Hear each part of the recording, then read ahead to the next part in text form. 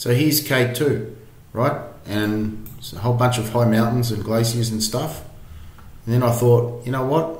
Are these glaciers melting? Especially over here. There's a 7,100 and something metre peak there. And look at all these glaciers. And it's all doom and gloom in the USA. Look, things are melting there.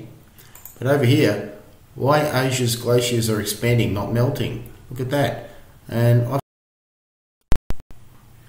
see this is NASA, this website. They're talking about temperatures. Obviously, concrete is going to be hotter than grass, and asphalt's going to be hotter than concrete. Surface temperature. So we scroll down to here, and we look at this dark sand dune. Dark means more sun absorption, and look at the temperature. It's lighter here, which actually means, looking at that graph, the lighter it gets, the hotter it is. And a good one here is this bit where there's forest and desert. Forest, of course, is cooler. See the purpley bits? Where's the where's the gauge here? It is purpley is cold and, and clear is hot.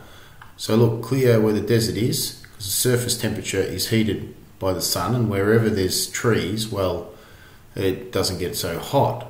So putting that into perspective, this area here doesn't have any forest to start with.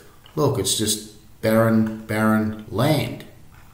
So therefore, they're in their natural state, nothing's altered around it. So the glaciers are the same as they are, if not bigger. They say they're even getting bigger in this area here near K2. Meanwhile, in Glacier National Park, for example, in the USA, the lowlands around this area have been logged extensively and they started shrinking in 1927. They predicted to be all gone by 1948 It's still there today, and the reason is is because the forest around the, the foothills has been devastated decades ago and has stabilised in a slightly less forested state, and therefore the glaciers ceased to melt any further, but were depleted nonetheless. So if we go here and have a look at Glacier National Park, we see some high mountains, and the foothills are surrounded by forests, unlike in Tibet.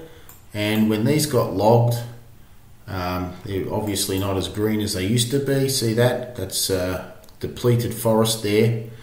All around the foothills, that area gets hotter, and the sun, uh, the, the heat rises into the mountains and melts the glaciers. So we don't have as much forest as we used to, say, 100 years ago. And there's your global warming answer right